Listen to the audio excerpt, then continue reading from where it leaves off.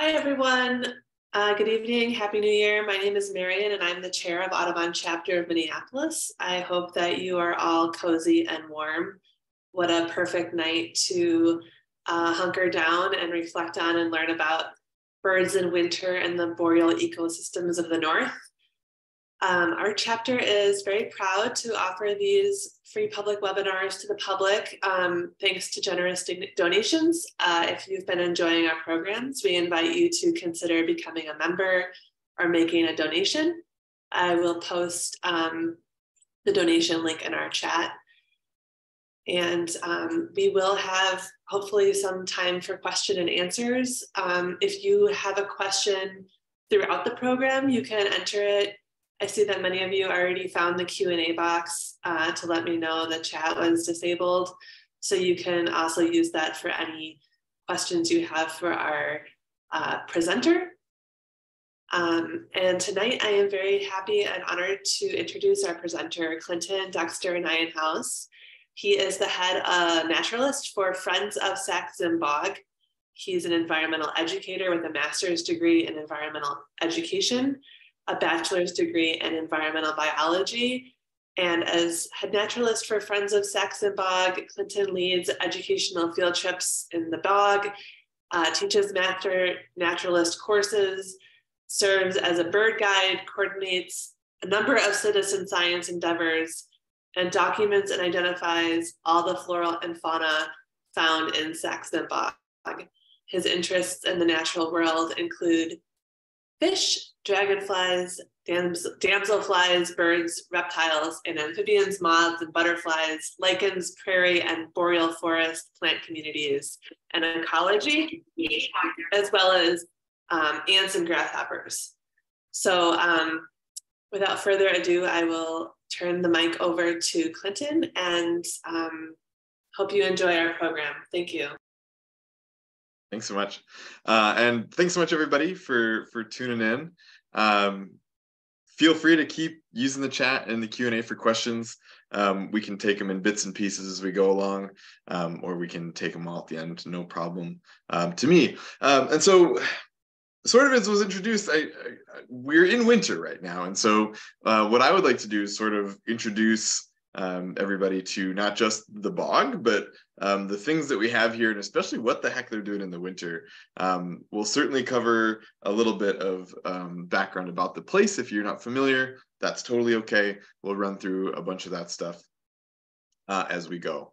Um, so, first things first, um, we're going to talk about the place. Um, the Sax-Zim Bog is a place. It's not sort of a, um, a, a, mysterious kind of word you keep hearing all over the uh, all over. Um, it is a place, so we'll talk about what it is and kind of what makes the bog the bog. Um, we'll talk a little bit about the organization as well. Um, so I know sometimes we have a lot of organizational bits and pieces that we want to figure out, and I'm happy to talk about some of those as we go. Uh, but uh, the kind of the big focus is these birds, and especially the birds in the winter. Um, not to say that we won't talk about some summer things as well, um, uh, but I, am really curious to, to to see what the heck is going on with some of these birds in the winter. Uh, and so, very simply, what is the Sax-Zim Bog, right? Um, well, it's it's a it's an ecosystem. It's a it's a landscape. Um, and if we start very simply from the beginning, um, we think about the Sax-Zim Bog important bird area. Um, this is a, a, a, an important bird area. If you're not familiar, are areas that are designated by Audubon and by BirdLife International um, as places that have very specific or sensitive or rare or declining things, whether that's habitat types, um, whether it's birds, whether it's places that have uh, an increased conservation need for one reason or the other. Um, and those two organizations go through and say, this little section here is something we should consider as an important bird area, um, maybe to help steer conservation, to help steer um, decisions that get made on that landscape. Uh, and so for us, the Sax-Zim Bog important bird area is defined as 147,000 acres. Um, so it's a pretty big place. It's kind of a tall and skinny section um, that we'll look at a map here in just a second. Um, but for our organization, for the Friends of Sax-Zim Bog, um, we like to include the bits and pieces that are outside of that initial designation. So there are some pieces of habitat that might be west of that original designation or east of that original designation. Um, and so we include maybe double that, 250 to 300,000 acres um, are included in what we have defined as the Sax-Zim Bog um, and the greater Sax-Zim Bog ecosystem. Um, because habitat's habitat, even if it's, you know, a foot across an arbitrary line, it doesn't really matter. The birds still use it, the bugs still use it, the plants still use it, um, and it's still important. So we like to consider that. Um, and so if we do look map.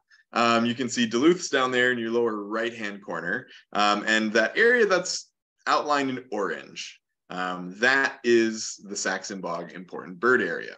Um, so if you've heard Sax-Zim Bog, this is what people usually refer to.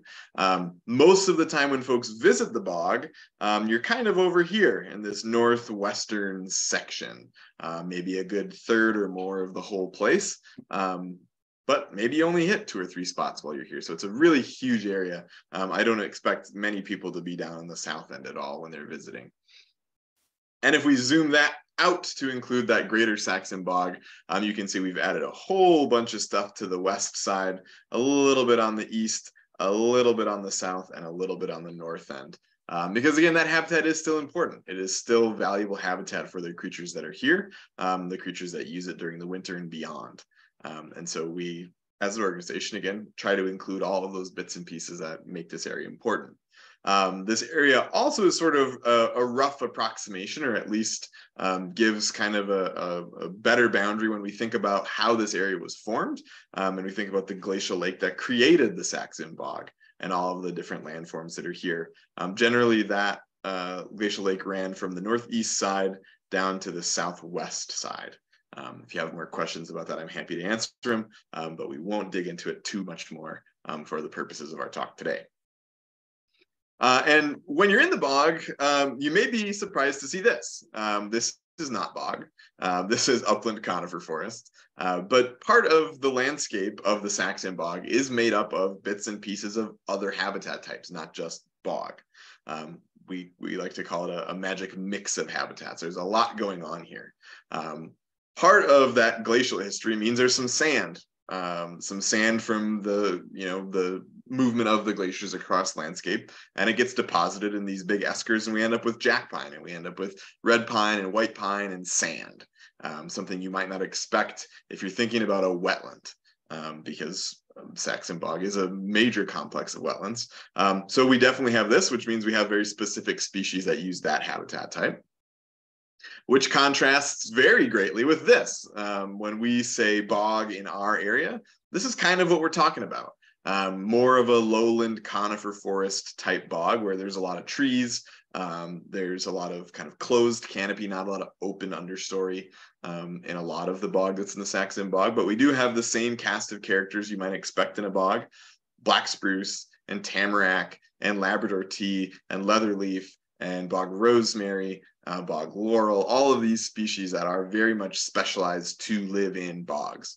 Um, and so when you come visit the bog, you hopefully might think of tundra type bogs and ecosystems as what bog could be. Um, but this is what bog can be as well. Um, and for our purposes, this is what our bogs look like in this part of Minnesota. Uh, but in the Sax-Zim bog, like I said, there's more. There's more going on ecosystem wise. Um, some of that is riverine forest and very southern species creeping up very far north. Um, you think about trees like basswood and cottonwoods, um, they're not very common the further north you get, um, but we do have some along the St. Louis River, along the Whiteface River, um, which sort of border the Sax-Zim Bog on the east and the west. Um, this is the Whiteface River from uh, an aerial view at our Wood Thrush Woods property. Um, and you can see it's mixed forest. It's pretty typical northern boreal forest. Um, there's some balsam fir and there's some maples and there's some aspen, um, all mixed into this nice mosaic um, that, no surprise, holds its own suite of species. And we haven't even talked about water yet. Uh, we've got the St. Louis River, we've got the Whiteface River, and we've got all these little streams and creeks that meander through the Sax-Zim Bog um, that make part of this um, landscape um, really quite lovely to explore kind of uh, on on the water if you will um, bogs in and of themselves aren't always terribly wet Um, and so much of the water in the region is confined to those basins of the Whiteface River and the St. Louis River, um, as well as the lakes that are in the area. And, and the kind of the weird thing about the bog is that a lot of the lakes are in the northeast side of the bog, um, kind of the, the place where the lakes drained from. Um, when Glacial Lake Upham was drained, it drained from the northeast to the southwest, creating the St. Louis River and the Cloquet Rivers. Um, and so you end up with remnants of that uh, movement on the northeast side of things. Um, pretty typical northern Minnesota lakes. If you spend some time in, in northern Minnesota or even up into Canada, a lot of very dark water, a lot of wild rice, um, lovely, lovely places to spend some time. Um, but there's one other habitat type that we shouldn't forget about, and it's it's sort of a manufactured habitat type, right? It's agricultural fields. It's hay fields and pasture lands um, that support a lot of different species, um, not just agricultural animals, um, but birds like snowy owls and rough-legged hawks and northern shrikes. Um, they love these wide open spaces um, because that's what they're used to. Um, that's what they're used to on their breeding grounds. And when they come south, um, they don't really like the forest. They, they don't really know what to do with it. And so they come down and find these open fields uh, and spend a little time before moving on or maybe spending all winter um, in those places in the summer those the agricultural fields turn into mini prairies basically right you've got species like bobolink um, you've got sedge wrens and leconte sparrow um, savannah sparrows very typical grassland species in this area as well because the habitat's there um, which is really really quite fun um, and quite cool it makes makes things really interesting in the summertime uh, and when we think about the name of this place, um, that's probably the easiest part of the name is Sax-Zim Zim, uh, because um, Sax and Zim were both towns. Pretty simple. They were both named uh, after people um, who were first to come into this area. Um, they don't really exist as much anymore. Um, you can't really even tell there was a, a town there. Um, with Zim, at least there's still the post office and there's a few houses around that intersection. So it feels a little bit like um, uh, some folks live out there. But this was an area that was kind of sparsely populated because of the railroads that were moving up and down from the Iron Range to Duluth. Um, both of these towns were right smack dab on the railroad tracks, um, picking people up, moving people up and down um, uh, from the Iron Range to Duluth. Um, as industry and as industry got better, there wasn't really the same amount of need for some of that movement. Um, and so they kind of went away with a lot of small little towns in northern Minnesota. Um, but when we think about the other part of that name, Sax-Zim bog, um, the bog piece can sometimes be a little tricky to define. Um, so first we're going to look at a comic. We're going to go into this in a lighthearted fashion. Um, this is one of the best summations I've seen as, as far as taking a humorous approach to this. This is from Bird and Moon Comics.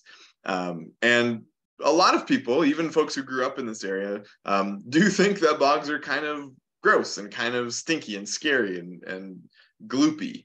Um, but that really isn't the case. Um, bogs are really sensitive ecosystems. They hold a lot of really specialized creatures, um, whether that's plants or whether it's bugs.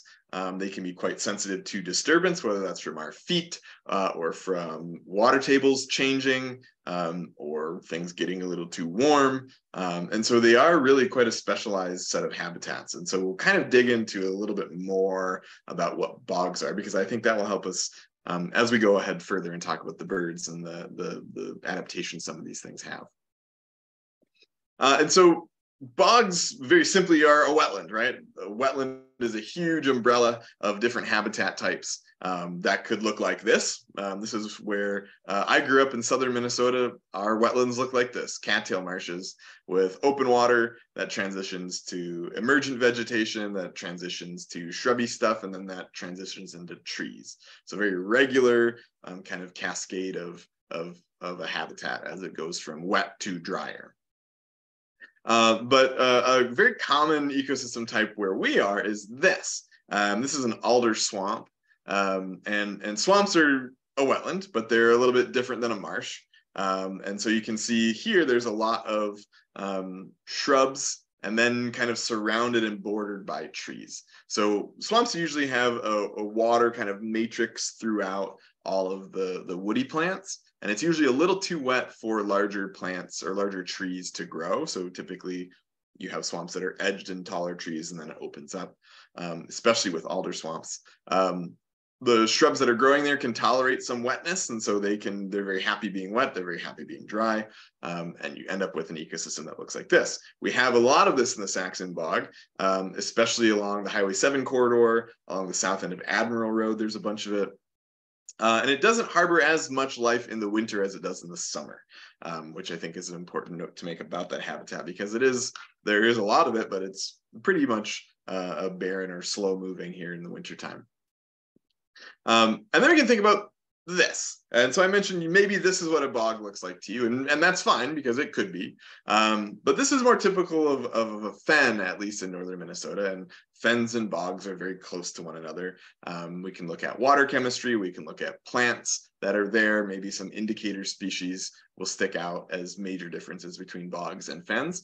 Um, but for the most part, if you kind of look at the understory here, um, we're dealing with a lot of grasses and sedges and um, not a lot of shrubby stuff going on in the understory. Um, little islands of trees are pretty typical. Um, and this is from the Toivola Swamp, which is uh, in the Sax-Zim Bog on the west, west side of the bog. Um, could this be a bog? Yeah, it's pretty close. There's there's very few differences up here. Um, in the southern part of the state where we have a little more limestone, we tend to get much more basic fens. Uh, and that's the really easy way to define a fen and a bog is just by looking at the water. Um, and like I said, our bogs tend to look a little more like this. They, they're more maybe correctly classified as a lowland conifer forest, but they still have sphagnum moss in the understory. Um, any shrubs that they have are going to be highly specialized, like our bog rosemaries and our Labrador teas and leatherleaf and all that.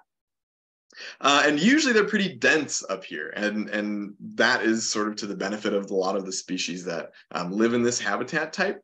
Um, they might want that tight, dense canopy. Birds like boreal chickadee uh, really love a dense canopy in a forest like this, and so um, again, this is kind of what our bogs look like. Sometimes we do get some openings, and there are a whole different suite of characters that can be found in those open sections of, of habitat like this, um, which is really cool. Um, but when you think about bog and you think about the Sax-Zim bog, um, this is kind of what we're what we're talking about, what we're thinking about um, in, in, in kind of consideration of the birds and the other creatures that are here. Uh, and the last thing we'll say about bogs, again, just to give you just a smidge more about what a bog does and how it is. Um, I mentioned there isn't a lot of water in a bog, um, and there certainly is water, um, but that is not water on top of things. If you can kind of see, this is how a bog forms and how a bog grows, um, and they really do grow. Um, they typically have covered a depression in their life um, or are working to cover that small lake um, or little uh, wet spot in the forest um, where the bog and the sphagnum moss is growing out and dying and kind of piling itself up until it has totally covered uh, that section. If there's water in a bog, typically it's moving across it, so on top of it or adjacent to it. It's not part of the matrix of a bog. Um, again, make some really, really interesting places when you think about how water tables work and all that. Um, so with any of those background pieces, if there's any questions, I'll, I'll invite you to put them into the Q&A and into the chat. Um, I'm gonna get a little drink of water, um, and then I think we'll move on and take our questions at the end. Because I do have some time for questions uh, at the end, and, I, and I'm uh, very curious to see what you all have to say. So let's move on to the organization, uh, a little bit more about us and the things that we do in this place. Uh, because like I said, it isn't it is a pretty broad and pretty large ecosystem. So how do we function as an organization here? Um, well, very simply, we're, we're working to be kind of a voice to this place. Um, so we are a, a 501c3 nonprofit. We were established in 2010 um, by Sparky and Dave and Kim. Um, kind of in response to some things that they were seeing going on with the forest in the area, especially with the black spruce and the tamarack. Um, both of those trees are really critical, important, critically important to a lot of the species that are in this place. Um, and so sort of to the overall function of the ecosystem. Um, and so um, they got together and started the Friends of Sax-Zim Bog, kind of to be that um, voice or the figurehead, or at least the, the, the folks who might be interested in doing some conservation work in this area. Um, and that was sort of the initial impetus of the Friends was to be a land conservation organization, um, which we still definitely do. But we've added a few more things. We, we've added some outreach pieces and some research pieces and some um, general communication with folks who live here or visit here or love the things that we're doing. Um, uh, and again, part of that was uh, in sort of response to especially black spruce logging and the increases of it in the area. Um, so this is a kind of an old aerial photo from 1992. Um, and the area of interest uh, is sort of um, on this left side of the screen. This is the Toivola Swamp, at least part of the Toivola Swamp. Um, it is a pretty unbroken stretch of bog that covers a lot of ground. Um, Highway 5 is kind of in the middle of your screen, but pay attention to kind of this area that I'm circling here. Uh, because a few years later, this was in place. This was from 2003, uh, and this is a peat mine. Um, peat mines aren't terribly common anymore, um, but peat does get used um, in a lot of different applications. It gets used um, in horticulture, it gets used in herpetoculture. Um, it is uh, kind of an important moisture retaining uh, facet of soil mixes. So if you do a lot of gardening, um, you're probably using peat to some degree. Um, and it has to come from somewhere. Um, and in our area, it comes from two different places from the Toivola Swamp here, uh, and then on the south end of the bog on County Road 8, there's another peat mine. Both of them aren't terribly active. They are active, but um, this is a bit of an issue for a bog, right? If, if we want to see uh, this ecosystem succeed and we want to see the, the plants and the bugs and everything do what they're supposed to be doing, um, this level of disturbance is not great. Um, that section of that uh, habitat is probably never going to recover. Um, once it dries out, it gets really, really, really dry. Um, and it also gets incredibly flammable. So bogs will burn for a very long time um, if they are disturbed like this, um, which is again not a great, not a great thing. Certainly, the forests in this part of the state could use a fire every now and then, um, but not to the scale that could potentially happen. Um, from a place like this. luckily, that's not happened, and we're probably never going to have to worry about that. But um, it is a consideration to make um, because you know the peat comes from somewhere. Um, but the bigger thing for us was the the response to an increase in the logging of black spruce and tamarack. Um, so this is something that I've been able to see even since I've started working with the Friends. Um, this is my eighth winter um, in in things here. Uh, highway 53 is right down the middle. 133 Highway 133 is on your on your kind of bottom left hand side, and this is from 2011. Um, and just a couple years later, 2017, you can see all those chunks that are going away. Um, not all of that's black spruce and tamarack, but most of it is. Um, and that's a little bit of a problem um, in, in kind of the, the terms of the ecosystem. Um, and our organization is not against logging by any stretch of the imagination. Um, we know that we are in Minnesota and we do a very good job with forestry practices in the state. Um, we also know that it's part of the economy up here. Um, our goal is that we can find these places and just um, pick them up a lot faster than maybe they can get cut. Uh, but the reason we want to do that is because these forests take a really long time to regenerate.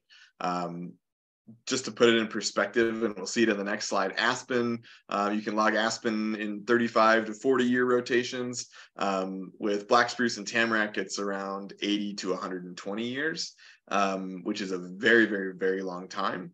Um, they're very slow growing trees, and typically um, the largest trees are the most important for the ecosystem. Um, and so, you know, some of these trees that we'll see every day in the bog are, you know, 80 to 100 years old or more. Um, and they've taken that long to grow, even, you know, um, a couple inches in diameter. So um, this is sort of uh, not what we would hope to see on the on the landscape. Um, aspen is a whole other story, right? So this is a big chunk of aspen off of McDavitt Road, um, and you can see now totally gone. But this was an aerial view from 2015. That forest is probably perfect age for golden wing warblers right now. Golden wing warblers and veeries, American woodcock. There are a lot of species that like that regenerative aspen. Um, and so, like I said, Minnesota does a pretty good job of understanding how to use its resources responsibly. Um, and the forests are one of those resources that, again, we, we kind of do use pretty well. Um, but again, this is going to be ready to go in, you know, 30 years more, um, where that black spruce and tamarack that we just saw is going to take 70, 80 more years. Um, so again, there's some trade-offs. And again, we don't want to lose all the aspen either because there are a lot of species that want to use the aspen. Northern goshawks, um, woodpeckers love nesting in aspen, ruffed grouse love aspen quite a bit. Um, and so again, we want to be responsible in this place. And as an organization, we hope to find these places and help preserve them um, as best we can. Uh, and we've done a pretty good job of that, I think, so far. Um, we've been able to pick up over 4,200 acres uh, as we as we sit here today, uh, which is great. Um, we've got at least one other project that's kind of been in the works for the last few years and is getting hung up by a few different things. Um, that 4,200 acres is across eight properties um, with two more wilderness type properties. Those properties being places we're probably not going to put any trails ever, probably not going to put any boardwalks ever.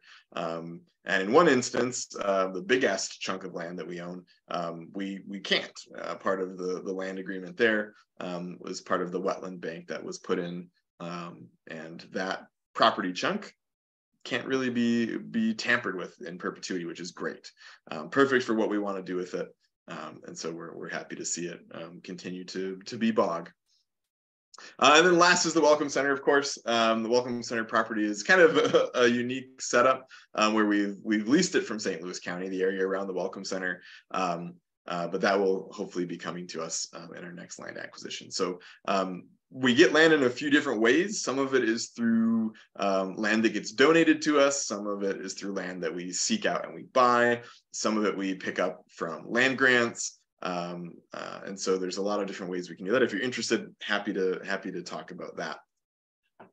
Um, and our properties are, are pretty variable in size, but for the most part, um, focus on bog habitats. We've got basically just one property that is something other than bog, um, which is pretty cool. Um, the nice thing for us as a nonprofit is that bog and, and wetlands in general are, are pretty cheap to come by because there's not a lot of value other than the trees in them um, which is great. Again, if you're a nonprofit, that's the perfect thing you want to hear. Cheap land is great. Where I grew up in southern Minnesota, um, d- definitely not the case. Uh, 40 acre sections might go for close to a million dollars in, in farm country. So um, we can spend less than 500 an acre on most of the properties and, and do pretty well for ourselves.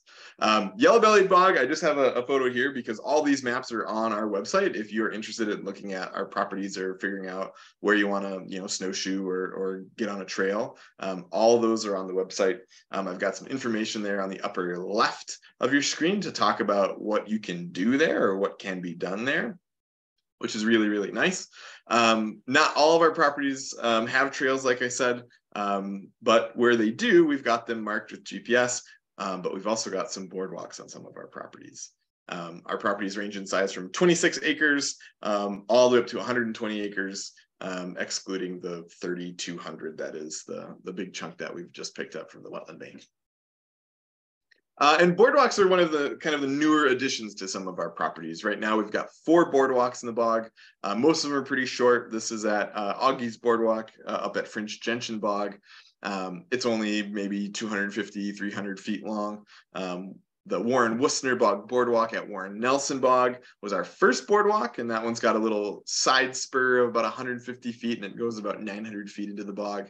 Um, we have another bog at, or another boardwalk at Winterberry Bog, the Bob Russell Memorial Boardwalk. Um, that is the only boardwalk that is a loop, um, so you can go through the bog and loop yourself back around to the boardwalk. It's also a really interesting research area too. Uh, and then we just finished part of the way of a boardwalk that's at the Welcome Center, the John C. Gale Boardwalk, um, which basically connects the trails from the Welcome Center to Grey Jay Way, um, which is going to be a really lovely one. Um, and for me as an educator, boardwalks are super important. Um, they are something that I use a lot uh, because we all can't navigate bogs in the same way. Um, and so uh, part of the, the benefit to having a boardwalk is that we're not disturbing that ecosystem terribly. We're going to disturb it maybe once, and then we're going to be set up for the future. We don't have to disturb it again. Um, but it also means that I can get everybody out into a bog and to see what some of these trees are and to see what that moss looks like um, without too much difficulty at all, um, which is absolutely lovely. Um, and so um, hopefully we'll be able to, to finish that boardwalk behind the Welcome Center um, and add a couple more here and there. Um, it's something that uh, we like like to try to do in this place because we would like to encourage everybody, no matter their ability, to get into the bog. Uh, where we don't have boardwalks, all of our trails are marked um, with a marker at the trailhead. We've got loops marked. We've got uh, directional arrows back to where you came from marked. Um, so it's a pretty easy place to get off trail and, and kind of stay on trail in, in some places. Um, there's uh, multiple multitudes of ownership in the bog. Um, and so there's a lot of uh, public land, but there's a lot of private land and it's very hard to know what's what. Um, and so um, it's very nice that we have these properties that have trails on them, um, but know that we do have other suggestions if people do want to do some bushwhacking. Um, there's lots of county land. There's wildlife management areas in the bog. Um, it really is a, a, quite a diverse landscape when we think about ownership. If you have questions about that stuff, happy to take them as well. Uh, and more or less, this is everybody. Um, kind of in a L shape from the left side. Sarah is our new development director. Um, there I am in the, the top middle, and there's Sparky, our executive director. Um, and that's it for full time staff. It's just the three of us. Um, everybody else here are our board members. Um, all the board members are all volunteer, um, which is really, really great. Um, and they help kind of steer the things that we want to do in this place and in the area and, and make sure that we're doing the things that we're, we're saying we're doing, which is really uh, a good a good team of folks here. Um, and we just added four new staff um, this winter. Uh, all of our uh, other staff are seasonal, so winter season, summer season. Um, uh, and we're so happy to have four new folks to help figure out how we can use our new addition to the Welcome Center. Uh, the Lotus King Education Center is where this photo was taken. Um, if you've not been up or if it's been a while since you've been to the bog, um, the tiny little building is still there, but it is connected to this wonderful education space. Um, and these four folks are helping us welcome folks to the bog. Um, these seasonal positions hopefully will carry over to the summer. Um, primarily, our season is you know December to March. Um, but the last couple of years, we've been open um, in June until August, and I think we'll continue to do that uh, moving ahead. So come in the winter, but also come in the summer. Um, it's there's a lot to do. There's a lot going on all the time. Um, but that's three full-time staff and maybe four additional staff. But we also get a lot of help from volunteers, and without volunteers, we really can't do much. Um, all the board is volunteer. Um, the folks who are not staff working at the Welcome Center, um, those are all volunteers, people who are coming out to share their time and their excitement um, with this about this place with the people who are visiting. When we talk about some citizen science things um, for Kestrel Monitoring Project, I've got a whole slew of volunteers um, that four to five is a is a pretty low number. I think we're up to a dozen folks now um, working on monitoring uh, for our Kestrel program. Um, and then I, I, put citizen scientists on here because um, I use iNaturalist a lot. Um, and there are a lot of folks who do use iNaturalist quite a bit when they are in the bog. And I appreciate the efforts people do just reporting the things that they're seeing. Um, it helps me kind of maintain and keep and update our list or locations where we might find certain species. Uh, and ultimately, without volunteers and without our members, we can't really do what we're hoping to do. Um, almost all of the the budgeting stuff that we get in a season all the funding is coming from memberships primarily. Um, we'll occasionally chase around grants for land acquisitions uh, but we really don't do that as far as um, other payroll things or all that goes um, and we're not necessarily a membership organization either. So anybody who donates at least $25 in a season, um, we include as a member. We're not going to send you a thing that says, hey, please be a member at this rate or this level. Um, that's just the way sort of we do things, which is uh, a pretty fun way to do it, I think. Um, and it's really important. It's really important to what we can do, and and all the members that we have are uh, are really willing to share time and expertise and um, funds in some cases, right, uh, to help support the things that we're doing. Um, we're not a terribly large organization as far as that goes either. We might have around 1,500 folks who donate in a season, maybe more, maybe less. Uh, maybe some of those folks might just donate once and then be done. Um, so it's a it's a really um, kind of variable number for us, which is which has worked out all right so far. Um, and our members really do come to the call. Uh, this is from one of our fundraising galas um, when we, we, we were still doing those early on. Um, all these folks are here spending some time because they're interested in the things that we're doing and they want to know how they, they can support us. Um, sometimes it is through monetary contributions. Sometimes it's just simply attending and, and reaching out to a friend to say, hey, this is what these folks are doing. That's pretty cool. Um, that word of mouth is so valuable to, to our organization and to a lot of nonprofits um, in the world. Um, but also these members are out doing work, right? Um, they're out in the bogs with us putting out material for the boardwalks, building the boardwalks. Um, certainly we have uh, uh, you know, paid folks to do a lot of some of this heavy lifting, but a lot of the boardwalks, if you've been to the bog and you've walked on them, um, almost all of that's done under volunteer power, which is amazing. It's one of the, the coolest things I think about um, our organization is that we have such a strong volunteer base and folks who are uh, quite willing to to put out you know the blood, sweat, and tears to to help us um, put in a boardwalk and kind of do the things that we want to do in this space. So without volunteers, without membership, um, we really couldn't do the things that we're doing. Even in terms of research, right? Um, so I mentioned a little bit about the Kestrel program.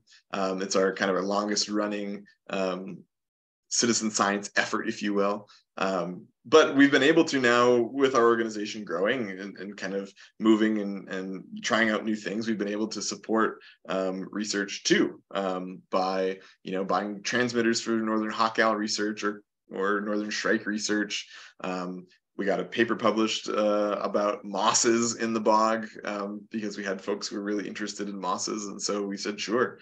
Um, and so we're we're kind of dipping our toes in the waters of, of the research side of things nowadays, um, which is kind of fun. Um, certainly, a new visitor center takes a lot of work, uh, uh, you know, and and figuring out how we can utilize a space. But um, hopefully, we can do some more of these kind of fun um, on things as well and help at least facilitate research in this place because it is big and it's not ours. Um, we just might have some of the expertise people need to help uh, get projects complete. Uh, so a whole bunch of things to think about there. If you've got questions, go ahead, type them in. Like I said, we'll um, take our time at the end here to address them. Um, but I do really appreciate it. I, I, see some questions going in right now, um, and that's really, really great. Um, I'm going to take another sip of water.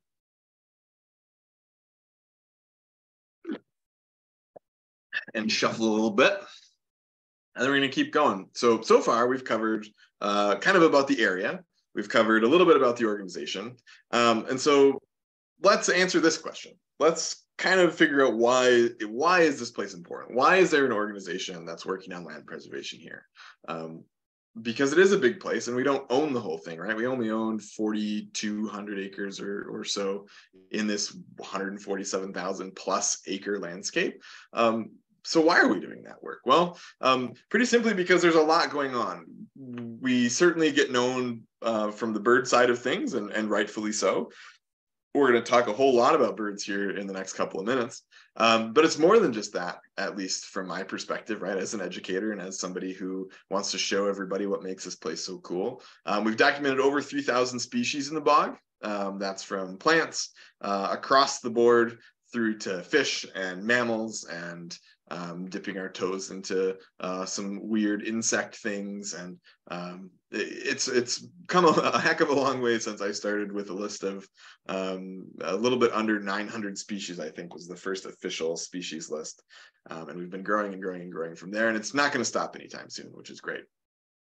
Uh, but my my my kind of uh, uh, goal here as as a head naturalist is to document some of that stuff and learn about it, but also then teach about it. Um, so I do a lot of education programming. Um, spring and summer, winter seasons were kind of the historical, you know, on seasons for me, but now we're wrapping things up into full year round programming, expanding into kind of our shoulder seasons a little bit. Um, and most of that's through long kind of uh, duration field trips or specific events and workshops. Um, definitely, it's not a, uh, an easy place to get to. And so we want to make sure that when folks are here, we really spend time in that system and talk about some things. Um, I do master naturalist stuff too. I, am a certified uh, master naturalist instructor. And so I've done a lot of advanced training work. I just taught my first uh, 40 hour course um, this last fall, and I'm super excited to do more in this new building. Uh, but it's more than just that, right? It's more than just these field trips and these uh, opportunities, but it's recreation, right? Of all kinds. There's people who come to just take photos. There's people who just come to bird. There's people who come to ski and to snowshoe. There's folks who are kayaking in the summers. Um, there's folks that are riding their bikes through the bog. Um, there's a lot, and there's a lot for everybody um, in this place. So if you might not be interested in birds, but maybe uh, fungi are, are your thing, that's here you know there's lots of places that you can go look and find some really cool stuff uh, and so know that there's recreation of all kinds in this place um, and you know we do our best to kind of keep those opportunities in mind for folks um, our visitorship definitely has grown. Um, this was from a couple years ago. We were around about 4,400 visitors a winter. Um, I think we're probably closer to, to five or 6,000 now, um, which is great um, certainly warrants a, a, new space, certainly warrants um, some sort of uh, further considerations organizationally, but um, less so in the summer. Um, certainly not zero, right? Because there are people who are interested in the butterflies and the dragonflies and the orchids um, and a lot of these really cool bog specialists that you can only really see when it's warm out. Um, but with the Welcome Center being open, it'll take a couple years, I think, before everybody realizes that we are open in the summer, um, which is all right because mosquitoes uh, are the other consideration to make. Uh, we we like to think about mosquitoes in a negative sense here, but without mosquitoes, we don't have a lot of the birds that we have because that's a huge food source for a lot of these species. Um, but really, the bird that put us on the map and, and put this whole area on the map, uh, besides the northern hawk owl, is this bird, is great gray owl. Um, for us, this is a resident. Uh, great grays are here all the time. Um, they just so happen to be a little bit easier to see during the winter than they are in the summer. Um, and so that's why we have our visitorship so high in the wintertime. Um, certainly cold is something to contend with and we'll talk about that here in a little bit but um, this bird got us a little bit more national attention in the winter 2004 and 2005 um, there's a really huge great gray owl eruption in minnesota um, there were at least 5,000 different great grays in the state of Minnesota that winter, um, which is way more than actually are here year round. Um, and so this pretty massive flight got some um, publicity out with the New York Times, um, and then that sort of garnered some national attention um, way back then um, which is really kind of cool, and which is why you could be in Florida and see somebody with a Sax-Zim bog hat on uh, because they know about this place, which is really awesome.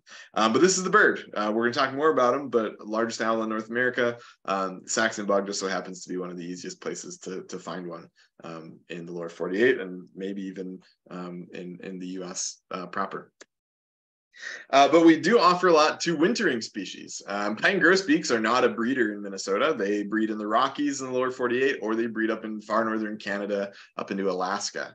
Uh, but this is a species that we see basically every year um, because we have the habitat and the things that they want. Um, we have boreal forest, which is what they're comfortable with and they're familiar with which also means we have all the food sources that they're familiar with, whether it's um, viburnums uh, or maples or ash or spruce. Um, they've they've got it. Bird feeders also help, right? But um, they would come down here anyways. It's a pocket of really lovely habitat that is familiar to a lot of really far northern species, especially finches. Um, so white-winged crossbills um, are fairly regular for us. Um, it is a species that does kind of breed in Minnesota, but not every year. Um, same thing with uh, bird like pine siskin. Um, pine siskins are in the bog in the summer. Sometimes they're here all winter, but sometimes they're moving around looking for more food too. Um, so a lot of winter finch interest in the in the wintertime, and that's only in the wintertime. Um, so much so that a bird like uh, pine grosbeak um, typically leaves around the first week of March. Uh, almost like clockwork, they're gone. Um, certainly some other finches linger, but pine grosbeaks really get out of Dodge um, to get back uh, north to breed every year. Um, in the summertime, though, we also have birds, right? It's not just a winter thing. Um, in the summer, we have way more birds around than we do in the wintertime. Um, 20 species in a day in the winter might be really good. Uh, but in the summer, we've got maybe 120 species that nest. And so you can pretty easily do 100 species in a day um, in, in peak breeding season, which is amazing. Um, one of those birds that gets a lot of visitors here is this bird. This is Connecticut warbler. Um, they are a bog uh, bog bird. Um, they are a bird that's been declining pretty steadily for the last uh, maybe 20, 30 years. Um, they've been losing habitat in their wintering grounds. They've been losing habitat in their breeding grounds. Um, it's a bird that really has very specific needs um, for its breeding. And so um, we have a lot of them because we have a lot of really nice intact habitat here in the bog. So we're happy to have them. Uh, one of about 21 species of warbler that nest in the bog, um, which is really great. A lot of food, which means we got a lot of birds, especially insect eating birds. Um, a bird you might be surprised to hear that's in the bog is this bird. Another sort of rare bird um, that maybe is making a bit of an in, in increase is wood thrush. Um, so not do we just have these bog specialist things like great grays and blackback woodpecker and boreal chickadee, um, but we have some deciduous forest birds like wood thrush and great crested flycatcher and um, some of these species you might not expect in a bog. Um, but we have them and it's nice to have them. We have a property that, that has a whole bunch of wood thrushes on it, which is really, really great. Uh, and part of the reason that we picked up the property as we did um, to help support this bird as well. Uh, but a lot of those bog species, uh, you know, are only here a little bit of the time, right? So we want to try and keep those breeding habitats in good shape. Uh, birds like yellow-bellied flycatcher, like this one here, might not get a heck of a lot of attention, um, but they're really important all the same. Um, they are an insect eater, and that's why a lot of these birds come back to the bog and come back to Minnesota. Um, it's because there's so much food for them to successfully raise those young uh, and then get back down to South America. Um, a lot of these birds don't arrive until the middle of May to the beginning of June, um, and they leave during the end of August into September. And so they're only here a couple of months, um, but we still um, enjoy their their presence when they're here in the woods and in the bugs, uh, because it, it really without that and without these birds, this place would be totally different. So maybe a little taste of summer. I'm still thinking about winter though. We're we're here in January and we're getting more snow. So let's talk about the winter. Um, winter in the bog can be a little intimidating. I think um, it can be pretty cold. Um, we're routinely among the coldest places in the lower 48. Um, in the last couple of years, we've hit um, at least 45 below or colder. Um, so 45 below zero is nothing to be trifled with. Um, with the wind, we've hit up to 60 below, which is, again, pretty cold. Um, it's not always that cold. So if you're worried about visiting because it's cold, nah, don't worry too much about it. Um, month of January tends to be our coldest month.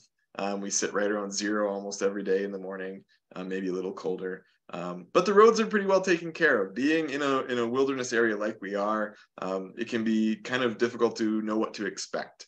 Um, but we are in kind of the middle point of the county where um, the, the border of the northern St. Louis and southern St. Louis counties are right at Cotton. And so we get really good road care, which is which is nice. It's a benefit to having a lot of people out and about, but also making uh, those roads uh, in, in, good shape is also pretty cool. Uh, but there are some considerations we should make, right? A lot of this ecosystem really needs winter. So if we think about do birds need winter? Well, sort of, because the ecosystem sort of does. Um, a lot of the trees you find in the boreal forest are really specially adapted to the winter. Um, these are all black spruce, and if you can see, they're totally covered in snow. Um, our first really big snowfall of the winter came a, a few days before the Christmas bird count. Um, and that was about 28 to 30 inches of really wet, heavy snow. Um, certainly there were some trees that broke, um, but a lot of these spruces are pretty well unaffected. Um, that narrow shape helps them um, kind of keep a low profile and shed a lot of that snow in, in pretty quickly, or uh, it just means that they don't have these big, long, heavy branches that can get really inundated with snow and just snap right off. Um, so these trees really are built for the winter, um, which is a really amazing thing. This black spruce is one of the more northerly and widely distributed forests or uh, trees in the forest, in the boreal forest. Um, and so it's it's lovely to see them covered in snow because um, they really don't bend and break um, like a lot of other species might. Um, and there are other things that are adapted to the snow as well, but maybe we don't think about them until the summertime happens. Um, this is uh, leatherleaf, and if you can see, um, the leaves are still reddish, right? They're not green. A lot of the plants you find in the bog, especially those specialists, um, are adapted to the cold. They're adapted to the dry conditions that we have in the winter, but also towards the end of summer. Um, and they don't drop their leaves. They keep them all season. Um, they kind of wake back up with the warming in May, and then they start to flower right away. Um, and so they're really well adapted to having this really elongated cold that we do see in northern Minnesota. Um, and this is just one of those plants that also has to deal with growing in a bog, which is not very easy. And so there's some adaptations from the plants that I don't think we think about a lot. Uh, mammals certainly have adaptations that we think about. Uh, we are mammals and we just put on coats and boots and hats and hand warmers and then we're ready to go. Uh, but snowshoe hares are here all the time. So they need to adapt to warm and wet and cold and dry. Um, in the summer, um, they look like this. They're brown. Um, they can blend in with the bogs and um, the ecosystem that they're found in. They're also very good swimmers. So if they have to cross some water, no problem for them. Um, but this is what they look like in the winter. Uh, a very different critter, right? Um, and a critter that if they stayed brown uh, would become an easy target for things like bobcats or goshawks, uh, great horned owls. Um, a very easy thing to see.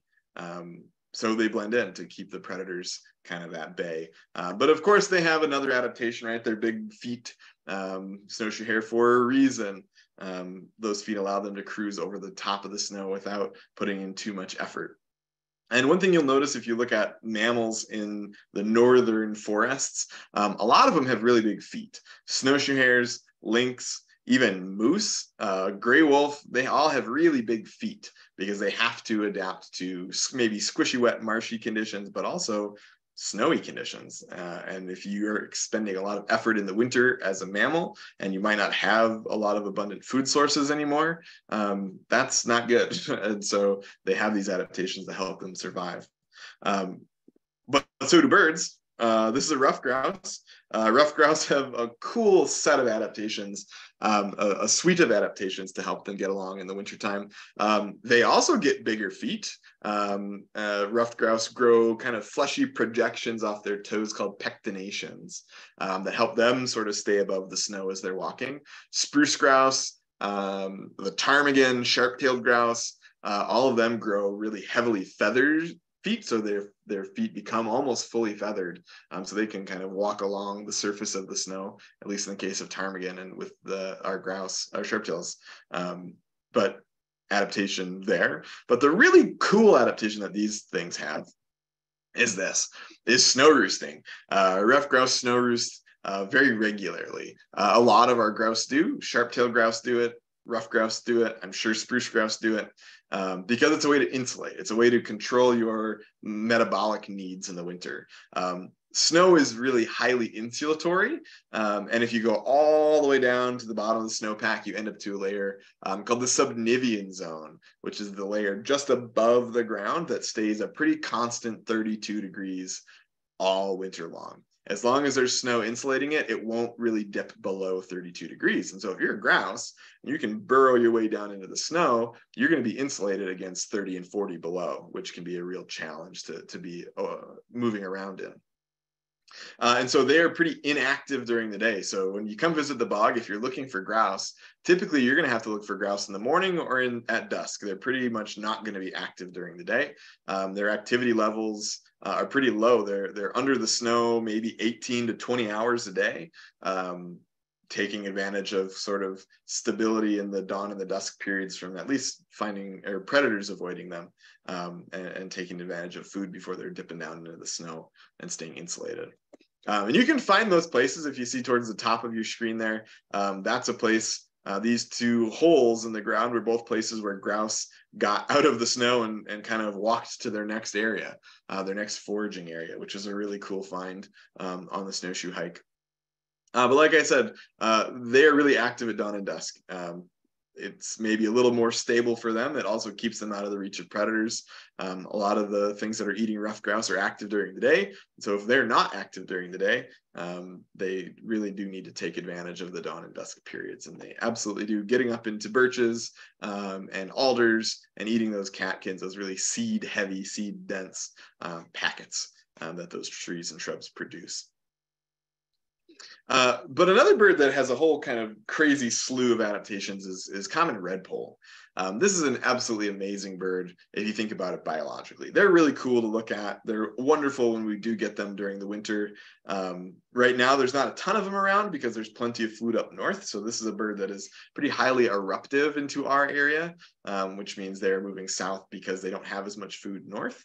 Um, this winter doesn't seem to be the case, but um, this is a bird that in the winter um, or kind of before the winter adds uh, by weight about 30% more feathers. Um, so they physically prepare themselves by growing more feathers um, to help them winter the, uh, uh, overtake the cold. Um, they will also snow roost, just like grouse do. Um, it's something that a few species of bird do, but especially Arctic species, these far northern breeders, um, they they will take advantage of that insulating, uh, the insulating properties of the snow. Um, but the other weird thing that redpolls do um, is they're active or they they become really active towards dusk. Um, and so they'll feed and they'll feed, feed, feed, feed, feed, and they'll store a bunch of seeds in their crop. Um, so then when they sleep, they can periodically wake up and process the food in their crop and keep their metabolisms running all night long. And so they're really well adapted to the cold that way. Um, some of our birds will dip into torpor. Um, certainly, sometimes redpolls might need to do that. Black-capped chickadees do that up here, where they will just sort of shut down um, through the winter uh, or through the night, and then they'll kind of wake themselves back up in response to really super, super cold. So um, there's a couple of different ways that that birds um, can uh, adapt to really extreme, extreme colds like we see sometimes uh, in the bog. So this isn't a bird, and I said we'd talk a little bit about birds, but this is a really important little critter to think about. Um, when we think about fuel, right? If you're going to be active in the cold, you need to be warm. Um, and so, unfortunately, our, our dear friends, the, the southern redback vole, um, they are really the fuel source for a lot of species. Um, if we run down the list, rough-legged hawks, um, the Sax-Zim bog is a really important um, migratory stopover habitat for rough-legged hawks in the fall and in the spring. Um, they'll also use it all winter in some cases.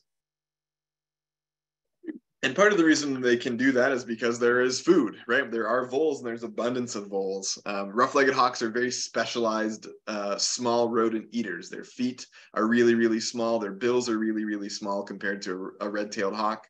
Um, you know, their feet are maybe half the size of a red tail, but they're just as big as a red tail. Um, because they're they're they're rodent eaters, um, and so having a lot of rodents is great. Having open fields is great, um, but they are a bog breeder. They're a northern kind of above the tree line tundra bird, and so they're very used to the the habitats that are in the Sax-Zim bog, and we do get them overwintering um, pretty regularly. Uh, but our owls are maybe the biggest um, kind of predator of these these little critters. Um, if you think about great grays, uh, great gray owl eats almost entirely voles in our part of the world. Uh, in the, the boreal forest, the northern parts of its range, it's going to be eating uh, basically two species of vole um, almost all the time. In the summer, it's southern redback vole. In the winter, it's meadow vole. Um, and that's the thing that they're eating. Again, adapted with really small little feet. Um, they are a very big bird. They are our largest owl by, by height in North America, um, but they are very, very small in their bodies. They're mostly feathers, so they're really well adapted to the cold. Um, they're really well adapted to that silent flight that helps them catch things. Um, but these voles kind of influence whether or not we see owls. So this is a northern hawk owl. Um, we'll typically get a northern hawk owl in the bog in the winter sometimes a lot of them, sometimes very few. This winter has not been a great winter for northern hawk owl. Last winter was not a great winter for northern hawk owl, um, which probably means their food up north is doing just fine. Um, which is just great. We want those birds to succeed. It's a bummer if we don't get to see them, but we really want them to succeed no matter where they are. Um, but those vole populations also influence the populations of these owls. Um, they all cycle. So uh, northern hawk owl, great gray owl, boreal owl, to uh, uh, some extent northern saw-whet owl, all have cyclic population booms and busts based on uh, vole populations. Sometimes it's really easy and clean to predict. Uh, in the case of boreal owl, um, it's really every four years you get movements and eruptions from those birds. With hawk owls, it's a little harder to say if it's six years, maybe it's eight years, um, or maybe they're just nomads and they don't really erupt at all. Um, and then great grays again, pretty hard to, to, to nail down if it's eight or 12, or maybe it's just four. Um, it, it's all dependent on those, those rodents though. And without them, this ecosystem really wouldn't function. Um, voles are incredibly important um, to uh, this ecosystem, whether it's tunneling and that's allowing air to get in, which allows uh, organic material to break down, um, whether they're a food source to a number of different species, um, or whether it's their poop that's giving a nutrient up uptick to some of these places that are fairly nutrient poor, um, like a lot of bogs are. Uh, but those voles are also food to mammals too. We shouldn't uh, forget about our mammals in the bog, especially our weasels. Um, we're lucky to have a lot of weasel diversity in the Sax-Zim bog. And again, part of the reason is because there's abundant food sources for them through voles. Um, this is a pine marten uh, or American marten um, as, as it is now. Um, and they're pretty, uh, a pretty charismatic critter. Um, if you've been up and you've spent some time looking for martens, um, you have a non-zero chance of seeing one when you visit the bog. And, and again, part of that is because of those voles. Uh, so there's a lot of considerations to make for the winter if you're looking for birds or you yourself are just trying to visit, right? Um, and so uh, I hope that's kind of a, a, good background or a good sprinkling uh, of things that might get you excited to come see and, and come watch some of these critters do what they do at 30 below or 40 below um, if you're brave enough. Um, and so um, with that, again, I'll, I'll, put out the reminder too that we have a lot of these same critters here all season, whether it's the winter, whether it's the summer. So the adaptations they have really have to span the seasons um, and span all sorts of weather conditions. And um, hopefully we can too. Hopefully we can get out and visit the bog in all the seasons because I think it is um, one of the, the really cool places that we've got here in the state, um, ecosystem wise, habitat wise, um, and of course, uh, bird wise. Um, so with that, um, I'm ready to tackle some of these questions. Uh, I think we've got some time here yet for, for questions.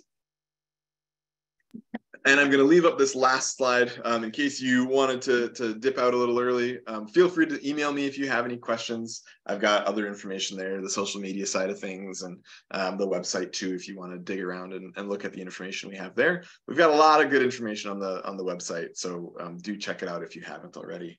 Um, but with that, I'm I'm ready for questions. If you guys are ready for questions. Yeah, we have some great questions here. Um, I can start with one that's related to winter. Um, what do you think the effect of warming due to climate change would be? And maybe if you could also elaborate on how that might impact like a bird's adaptations. Sure. Yeah. So uh, bogs and and sort of the the whole of northern forest ecosystems are fairly climate sensitive. There's a lot of really specialized adaptations to cold, um, and sometimes we need the cold to help push back some things, right? If we think about uh, our native wood boring beetles, um, right now we've got a little bit of an issue with eastern larch beetle um, killing off tamarack in Minnesota, uh, and it's a native species, but it it hasn't gotten cold enough to stop that bug, right? Um, it's certainly part of the ecosystem, but it, it can't go uncontrolled forever. Um, and so part of warming is those uh, beetles are having the ability to survive all winter, and they're also having the ability to um, put out two different broods in a season, which is a big problem for tamarack. Um, right now, about half the tamarack in Minnesota is dead um, from that beetle, which is a big problem we think about bogs and lowland forests anyways. Um, but if we think about birds in particular, there's one species that we really need to think about. Um, well, maybe two, maybe three, but at least one um, being Canada jay. Uh, a lot of our corvids nest really early um, in the season, but Canada jays are starting to nest in February, just like ravens are. Um, but they've spent all winter and maybe the end of fall caching food. And so if we hit spans of warm weather, um, those caches of meat or you know bugs um, are going to end up spoiling, and they can't feed their mates who don't really leave their nests at all. Um, which is a big problem. Um, if they leave the nest, those eggs freeze, and then you don't have any more Canada jays. Um, there's already been impacts seen in the eastern part of the range of Canada jay. Um, in Algonquin Provincial Park, there's been a lot of work done for the last almost 40 years on Canada jays, um, and they've noticed a pretty significant decrease of Canada jays in that part of their range basically due to warming. Um, they're not able to maintain kind of their winter caches. And, and again, that's a big problem. Um, we could say the same about the forest changes impacting boreal chickadee. Um, that's a bird that we have a lot of in Minnesota because we've got a lot of good habitat. But if the habitat changes happen, we lose those birds um, and they just go further north to find the habitat if it's there. So um, yeah, definitely a concern in bogs and in northern forest. Winter does have a lot to play um, with you know how some checks and balances get made in, in an ecosystem like this. And so without it, um, it can be a little bit of a problem for sure. So you touched on this a little bit actually in your answer just now, but um, one of our participants asks about invasive species in the bog and what kind of threats there might be to having an invasive species. Yeah, so the great thing about bogs uh, is that it's very difficult for invasive species to really gain a foothold. Um, outside of wetland invasive species, um, we really don't have much to worry about terrestrially um, because they just simply can't grow in those bogs. Certainly, there might be places that things could get in. Um, you know, we have buckthorn and um, you know tansy in some places, but not all over, which is really great. Um, certainly, buckthorn is on the edges of bog, but it won't get in there because it just won't survive. Um, so we're in a kind of a good place there. Um, insect wise, it'd be interesting to see what could happen. Um, we are not quite knock on wood, um, in emerald ash borer yet. Um, we have some emerald ash borer issues in Duluth and in Superior, um, but so far it's been very slow to creep further north, and maybe part of that is because it does stay so cold. Um, but we don't have any issues yet there in the bog. Um, so we're, we're kind of in a good place. This ecosystem is really highly specialized. And so um, that means our non-native species or potentially invasive species um, might not be able to really get much of a stronghold at all um, unless we see some disturbance and we see some big changes in that ecosystem. But um, as far as we're sitting right now, we're in pretty we're in pretty good shape. I actually have a follow up. When I was a dog, I didn't see any house sparrows, and it seems like they can live anywhere. So why yeah. wouldn't they be able to make a home in the bog? Yeah, great question. Uh, part of it is because it is so cold. Um, even in Duluth, we have we have house sparrows in Duluth, but um, they certainly get limited by how cold it is. If they can't find a place to stay warm, um, they're not going to survive. Um, pigeons are better adapted at that. Starlings are maybe a little better adapted. Um, but there are maybe two farms that have house sparrows, maybe three in the bog. So yeah, they really are hard to find. You really, you really, it really takes a lot for them to survive a, winter. Um, and you know, we're we're luckily we're pretty cold. Um, so yeah, they, they can't quite gain a foothold. Um, so we have a person who's curious about the kestrel monitoring results. Yeah, yeah. Uh, I will I will point out one thing because that will give you more information. But down here, I noted the bog blog. Um, when we have kind of BioBlitz wrap ups or, or bigger things there, um, head over there and, and, you can learn way, way, way more. I've done reports uh, every year um, about the Kestrel monitoring program, so they're all up there. Um, very quickly, though, um, it was a very good year, um, more or less records by a number of different metrics. Um, we had a record number of occupancies this year, so we've got about uh, 50 boxes that are usable on the landscape. Um, and we had, oh boy, summer was a long time ago. I think we were about 32 occupancies of that, uh, 27 successful nests, I think. Again, uh, I will have accurate numbers in the bog blog, so go check that out. Um, but it was really good. We we broke 400 kestrels banded uh, this season, so um, we're, we're, adding more and more birds to the landscape, which is really lovely. Um, we were hoping that we would see more returns from some adult birds that we were banding and putting transmitters on. Um, we've been color banding all the chicks for the last two years. We've uh, been working with the DNR and a few other folks um, putting uh, radio transmitters and um, on adults. Uh, and so far, we had one bird return. Um, and that was a bird that was color banded, but we, we weren't able to know if that bird had a transmitter uh, because some of the transmitters fell off. Um, a couple of, uh, of, of, birds did at least. And so we're not sure who it was, but that was our first banded kestrel to return to any of our boxes, which was really exciting. So um, I'm looking really forward to seeing what we see next year now that we have two years worth of of banded birds and or of, of color banded birds. Um, uh, and there's a whole project happening uh, going on about kestrels in the bog uh, and in kind of the midwestern part of their range right now. Um, Hallie Lambo is working on her master's, um, getting a lot of data from us, a lot of data from folks in central Wisconsin and around the Twin Cities and in southern Wisconsin, um, trying to do some work on, on, nesting success and some other metrics of these birds. So um, a lot of cool stuff happening. I'm, I'm super pumped that um, we're, we're to the point now with our data um, where we've been under our present protocols for five years, where we're actually um, working on a paper about that right now too. So um, adding hopefully a little bit more about kestrels to the um, knowledge base here um, in the next few years, certainly. Great question. And David asks, can you elaborate on the John C. Gale loop you mentioned? Was that donated in the memory of John Gale from Menominee, Wisconsin? Great question. Um, I'm not sure of the John Gale that it is uh, in honor of. Um, it is. Uh, it was a, a, donation, and it was going to go in uh, to Yellow Bellied Bog. Um, and then this year, Yellow Bellied Bog was really, really wet, and so we said, well, let's put it to the Welcome Center because we wanted to build a boardwalk there for quite a while.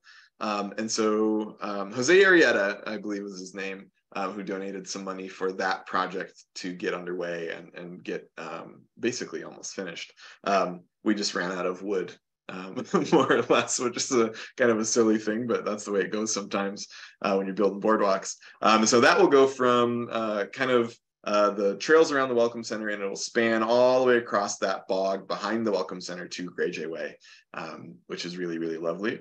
Um, and if you wanted to check in with me through the email, I can let you know if that is the the, the John Gale that, that you're noting is the one um, that the boardwalk is in honor of, because I don't necessarily know from, from my end. I just um, just have the name.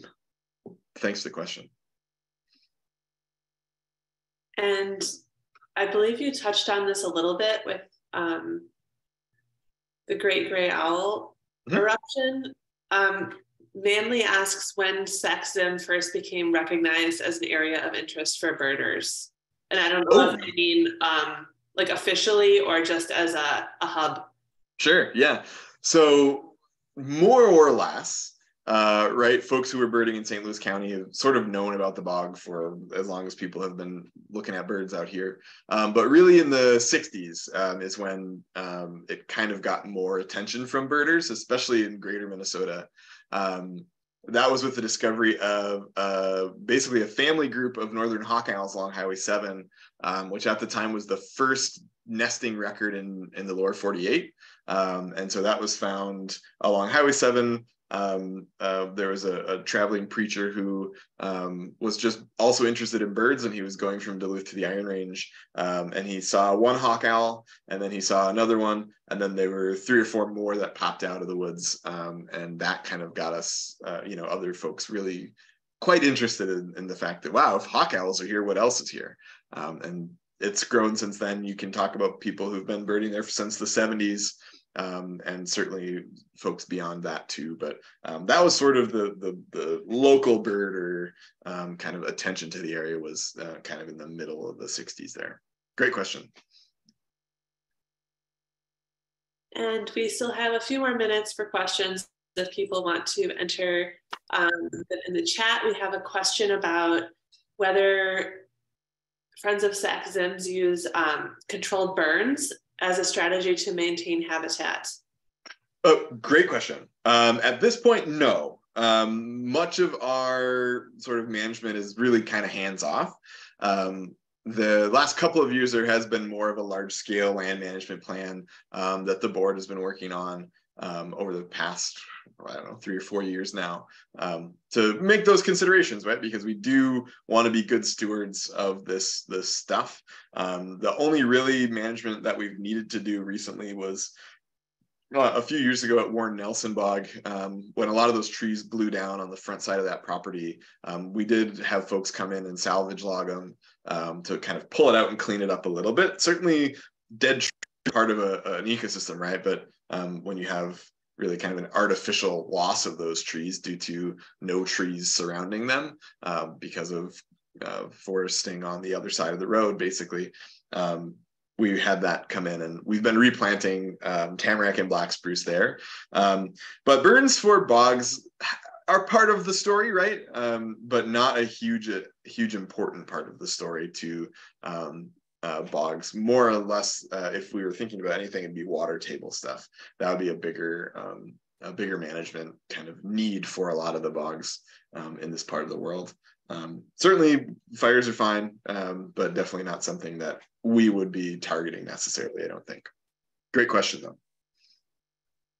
So it looks like people are interested in uh, volunteering for the Kestrel project and want to know how to get involved or other monitoring projects of different uh, sure. fauna that they could get involved with. Super. Uh, I love it. I, that's why I like doing some of these because you get the folks who are really interested in stuff. Um, so the easiest thing I can say is email me. Send me an email. Um, so there's my email right at the top, naturalist at saxzim.org.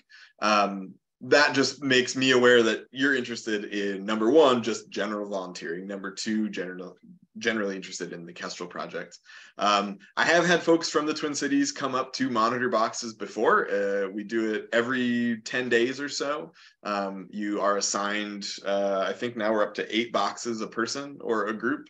Um, and, and, you go around and we have a training at the beginning of the season um, and it's a, a, really fun group of folks um, so if you do have interest um, I, always seem to need a couple extra folks every single year, even though I've got a core group of folks who've been at it from the beginning. I, I always seem to need a couple more. So please do send me an email if you're interested in Kestrel stuff. Um, I'm not opposed to folks from the Twin Cities helping on that project because it, it's, you know, if you're able to do it, great. Um, other stuff, uh, last couple of years, at least two years ago, um, we did some bee monitoring stuff uh, for the Minnesota Bee Atlas. Um, if you're interested, March 16th. It's a Thursday. Um, it's the last webinar of our season. Um, we're going to have Nicole come uh, from the Bee Lab to do a talk about the Bee Atlas generally, um, because we did a lot of fun stuff in the bog uh, with bees um, two years ago but they've been trying to find volunteers to do more long-term monitoring i think uh, of certain things whether that's visual surveys or surveying of boxes or uh, you know artificial nest kind of houses. Um, we haven't had that yet. I don't think i have enough volunteers up here who are interested in that but if that's something that interests you again send me an email. Um, but we always are kind of very nebulous in our projects. So we might have one thing for a couple of years and then it stops and then we don't have anybody interested in anything for a while. So if you're interested absolutely let me know. I'm, I'm happy to work through stuff to see if it's something we could do. Um, we definitely you know have master nats up here who are looking for projects all the time. Um, uh, and i'm happy to help facilitate some of those too. Um, it may be as simple as um, you know spreadsheet work with making sure i'm not duplicating any species on the species list. It might be um, going out and marking buckthorn or marking canada thistle or tansy. Um, there's a lot of, of opportunities for stuff in the blog for sure. So um, if you're interested that's great. I would love to hear more about it. Do send me an email um, uh, about any and all of the volunteering questions you have. Um, I'm happy to take them. And it looks like people are curious about the evening grosbeak research in 2022. Yeah. Yeah. So uh, we just finished the webinar in December. Um, so that's up on our website. Again, there it is, saxzim.org. Um, we've archived all the webinars from the speaker series for the last two years. So if you want to uh, learn more about that, feel free, head over to the website, head over to archived webinars under videos.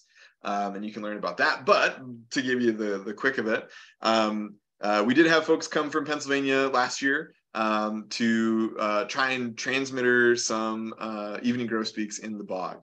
Um, they were successful, um, not as successful as they wanted to be, but it did take them seven days to catch five birds. Um, so they learned a whole lot. We learned a whole lot, uh, but they were able to put two satellite transmitters on um, two evening grosbeaks from the same flock. Uh, those birds ended up in different places which was totally an unexpected thing. One of the birds ended up in central uh, Manitoba, north central Manitoba. The other one ended up in almost east central Ontario, um, which is super weird. Nobody was expecting that level of dispersal from those birds. Um, and they did color band all of the birds that they caught, and there's at least two of those birds at the same spot this year um, as far as I know. I haven't been up to check on them yet, uh, but there's at least one that's been reported, uh, and I think there's uh, at least two birds there that uh, uh, that have returned from last year, which is really cool. Um, for us, evening grosbeaks do nest in Minnesota. They do nest in the bog, uh, but they're really hard to find during the breeding season. They're not very vocal in the breeding season, um, and they're they specialize on spruce budworm, which is a moth. Um, and so they typically focus on areas that have a lot of budworm. Um, and so we haven't had much issues with that in our area, um, but certainly in parts of northeastern Minnesota and, and further east, there's a lot of problems with budworm right now. Um, so it was great. It was really cool. They're planning on coming back. Um, David at least is is trying to get back here to ban some more because we have so many more grosbeaks this year than last year. Um, we are on the western edge of the eruption that's happening in the east right now, and so we've got a flock of up to maybe a hundred or more evening grosbeaks at the Welcome Center. Um, the same could be said for the Sisu feeders. We've got probably close to 75 at uh, Yellow-bellied Bog this year. There's almost that many or more at Mary Lou's feeders. It's pretty amazing how many grosbeaks there are right now. Um, and so, uh, yeah, it's really an impressive thing um, to see if you if you're used to seeing a couple of evening grosbeaks here and there. Um, seeing you know 75 to 80 pretty consistently is is pretty amazing. So um, yeah, I, I really hope they can come because they they certainly should have some better luck this year at catching more than just seven birds. Uh, yeah, but thanks for asking. And again, you can find that video from David's talk on the BOG website there under videos, archived webinars. Um, great question. And we've got a couple people curious about tamaracks. Yep. Whether, uh, given the beetle situation, it's worth it to plant them, and then uh, the fact that uh, perhaps some tamaracks are dying uh, due to climate change, and if if that could be happening in in Sax-Zim as well. Good question. Uh, so the the one thing that uh, understood so far, and again, uh, my knowledge of the whole status of it now um, is a couple years old, um, but more or less, we we in the Sax-Zim Bog are kind of on the east boundary of the biggest damage. Um, and the beetles will only really kill trees of a certain size. So planting them is great because they they typically I think are using older trees. Um, I would have to check my notes um, on what size of tree they're using. But right now, there's a lot of research in the bog going on um, with um, kind of creative forestry methodologies to make sure we don't lose all the trees, right? So, can we selectively cut ages of trees? Can we just totally clear out a section and replant? Um, how can we do that? And that's through NRRI, the Natural Resources Research Institute in Duluth. Um, they're doing a lot of cool work um, in regards to tamarack, both in Western Minnesota and in, in the Eastern part too. Um, climate with tamaracks uh, certainly might have something to do. Um, maybe not the whole reason because it is beetle damage that is killing a lot of these trees. Um, but you know, if you're climate stressed, as a tree, you're going to be more susceptible to, um, uh, you know, ill effects from maybe a, a, a manageable infestation of beetles. Um, and so that probably has a little bit to play with it, but I don't know if that research is out there yet to say for sure um, if climate is another uh, kind of adding factor to that. Um, but definitely a consideration to make um, um, certainly. But um, again, I'm excited to hear what NRR might have about some of that stuff. Um, so great question. I don't know if NRRI's website has any information about it, but they very well could um, um, with the Natural Resources Research Institute in Duluth here. So we've got time for a couple more questions. What about woodpeckers in the wintertime? Yeah. What about them? Uh, this this area, uh, we basically have uh, the whole suite except for red-bellied woodpecker. So we've got downy hairy pileated. Um, we've got a pileated woodpecker right now, a male who's been at the Welcome Center and hanging out, very un, unfazed by people, um, which is really cool um, for basically, you know, this whole season. Um, I saw him in October. He kind of showed up and has kind of been hanging around. Um, and uh, has figured out how to use all of the different suet feeders, has figured out how to use the carcasses, has left the building alone, which is really great. Um, so those three, um, pretty typical woodpeckers, right? But then we have blackback woodpeckers um, all year round. Um, this winter seems to be another difficult winter for them. Um, there have been a couple of birds seen um, but they haven't stayed in any one area for very long. And that's pretty normal with blackback woodpecker. Um, they are a very nomadic species. And so they might move acres and acres and acres worth of trees before they find an area that they like and they'll stay in for a while. Um, and so for a couple of years, it was Warren Nelson Bog. For a couple of years, it was Winterberry Bog. Um, McDavitt Road had birds for a number of years, maybe 15 years. They had a couple of pairs working that road, and now they've seemingly moved on. Um, but that's sort of what they do. So it's been really difficult there. Uh, somebody just shared uh, there was an American three-toed woodpecker in the bog. I don't know when. I don't have any time on that or a location on that, but somebody did have one um, within the last week or so, um, which is really cool. Another bird that in Minnesota is pretty scarce as a breeder, but we do get them breeding in Minnesota. Um, I don't know if we've ever had any confirmations of them breeding in the bog, but we've definitely had birds linger into April uh, males and females together lingering into April. So potentially they, they've nested for us. Um, in the summer, we get our flickers back and we get yellow-bellied sapsuckers back. Um, uh, red-bellied woodpecker for us is pretty rare. Um, last year there were at least two, um, which is kind of cool. Um, but that's a bird that's been expanding north for the last 25, 30 years. They got to Duluth maybe 15 years ago or, or, or maybe a little bit later. Um, so their population is growing and growing and growing, and so I would expect more of them. Uh, same thing with red-headed woodpecker. Um, last year we had um, at least four different red-bellied or red-headed woodpeckers in the bog during the summer, which is unbelievable. That's a really high number for northeastern Minnesota. But um, they have been nesting in rural Duluth um, and in kind of urban Duluth, the last two years, there's been a pair that's nested in the same spot, and there's been a pair um, just north of town that's been around and nesting. So potentially they might stick around the bog too. Um, so yeah, woodpeckers are great. We've got a lot of them. We've got a lot of nice habitat for them. Part of the reason we leave a lot of those trees down is because it's woodpecker habitat. Um, old trees are great for woodpeckers. Down trees are great for woodpeckers. Um, yeah, uh, it's lovely to have such diversity um, in, in a season uh, in the bog for sure. So we have time for one last question. Um, it's about birding etiquette in the bog, and I'll just split that into birding etiquette towards birders and then maybe birding etiquette towards the birds. If you could speak to both of those. Sure. Yeah. Uh, so it seems like every year we we put out reminders uh, because things ramp up and then people are getting really comfortable and then uh, they don't remember that they're in a place that has other people, right? Um, and so uh, definitely there are some considerations to make. We've thought about some of those considerations.